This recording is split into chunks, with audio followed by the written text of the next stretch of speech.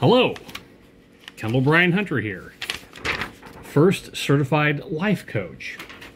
Next, certified in cognitive behavioral therapy.